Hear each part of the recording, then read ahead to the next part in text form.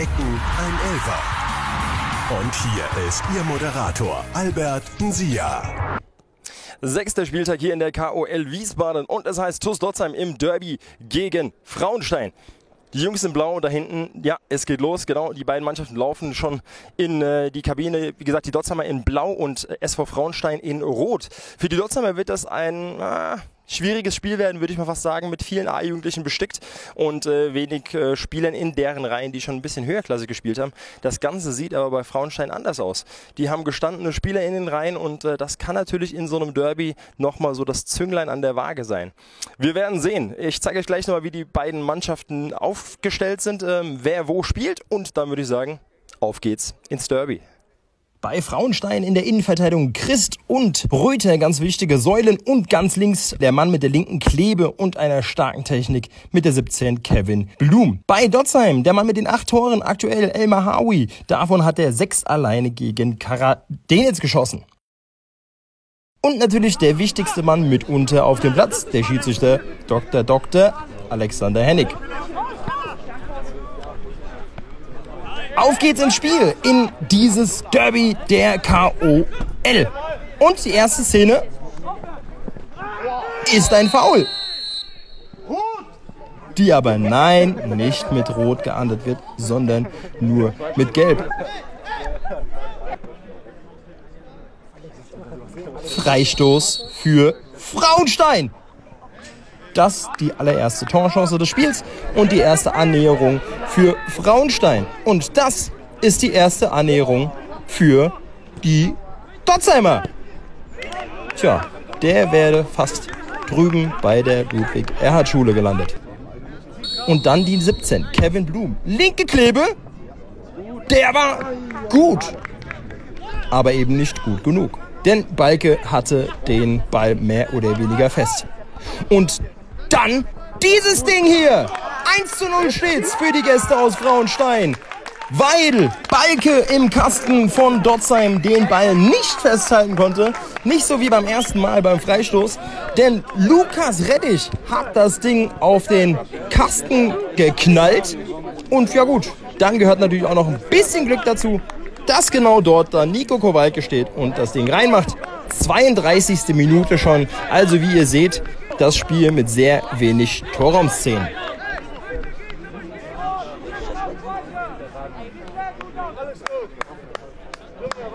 Wenn denn mal Torchancen da waren, dann waren es Zufallprodukte wie diese hier.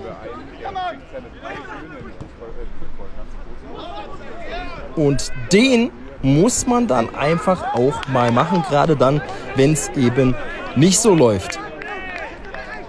Technisch war das nicht wirklich ansehnlich. Es wurden viele lange Bälle gespielt und damit ging es dann auch in die erlösende erste Halbzeit durch den Pfiff von Dr. Hennig. Und es ging in die zweite Hälfte. Da sollte man eigentlich meinen, dass sich das Ganze vielleicht spielerisch bessert, aber wie ihr hier seht, das Ping-Pong-Spiel der lange Bälle ging weiter und die Dotzheimer ließen weiterhin den Körperkontakt vermissen und auch diesen Willen, das Spiel noch zu drehen. Und dann kommt natürlich Frauenstein zu solchen Möglichkeiten wie hier durch Bader Matsuki. Gut gehalten diesmal von Balke im Kasten der Dotzheimer, der mit seinen Vorderleuten nicht so zufrieden war. Genauso wie dieser Zuschauer hier, nämlich Thomas Glaubinge. Bester Coach ever, der sich dieses Spiel hier ansieht, denn sein Sohnemann spielt in der zweiten Mannschaft beim SV Frauenstein.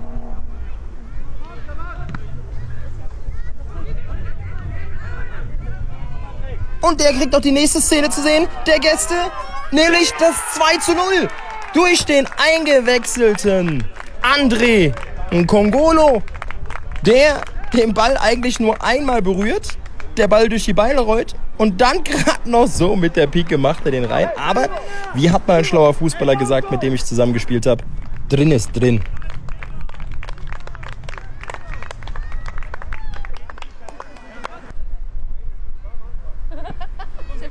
Die Frauensteiner, die technisch unter ihren Möglichkeiten blieben, schafften es nicht, das Spiel an sich zu reißen und den dritten Treffer nachzulegen. Deshalb nahm sich Kevin Blum mal den Ball aus 50 Meter und haut auf den Kasten und macht es so wie früher einst sein Trainer Dennis Ilsemann. Der hat so ein Ding manchmal schon oben rechts im Winkel eingeschweißt. Und wie gesagt, sie machten die Dotzheimer dadurch natürlich auch stark. Und die kamen endlich mal mit einem Annäherungsversuch durch Walid Ben Moiraim.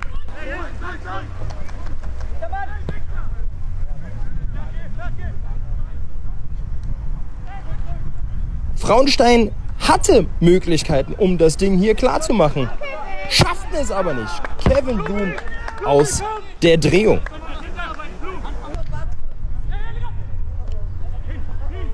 Und das Spiel ging langsam in Richtung Ende. Die Dotzheimer wurden immer stärker oder waren es die Frauensteiner, die immer schwächer wurden?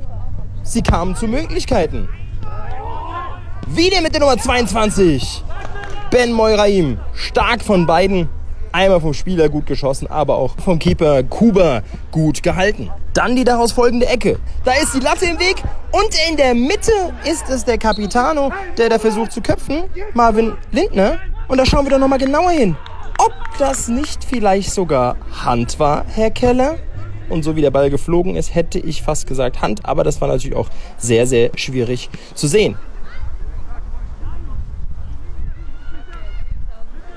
Die Dotzheimer, die wussten jetzt mittlerweile, wo das Tor steht und versuchten es auch.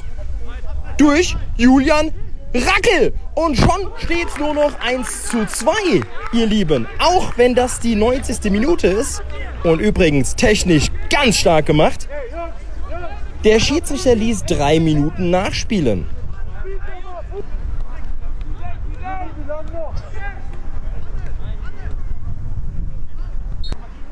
Die Dotzheimer schafften es aber trotzdem nicht mehr in diesen drei Minuten eine Torschuss zu generieren. Und somit geht der Sieg an die Gäste. Und die sind jetzt nach diesem Spiel Derby-Sieger, Derby-Sieger, hey, hey, hey! Derby-Sieger, Derby-Sieger, hey, hey! Mein Lieber, bis zu 85. Du hast gerade eben deinen Jungs gesagt, habt ihr das Spiel unter Kontrolle gehabt? Was war denn los danach? War ihr platt oder woran lag's? Nee, platt nicht, aber wir haben dann komplett aufgehört, ja, hinten raus Fußball zu spielen. Wir haben die Dinge nur noch nach vorne geplätschert. Und ähm, so machst du es im Gegner einfach. Also wir haben nicht vor, jetzt irgendwo da oben mit den ersten vier oder fünf mitzuspielen. Für uns ist einfach ähm, die Liga zu halten und die jungen Leute, äh, die Jugendlichen von der A-Jugend jetzt hier zu integrieren ja, und langsam heranzuführen.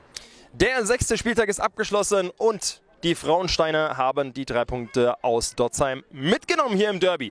Wir haben uns natürlich gedacht, dass das vielleicht ein bisschen ja, hitziger wird, vielleicht ein bisschen interessanter. Aber gut, wenn Dotzheim die letzten 15 Minuten so gespielt hätte, über die 90 Minuten, dann wäre das Spiel wahrscheinlich ganz, ganz anders verlaufen. Aber gut, man kann sich's ja nicht aussuchen. Wie gesagt, jetzt alle Spiele, die ich am Wochenende aufzeichne, gibt es immer montags 21 Uhr hier auf Facebook und auf YouTube.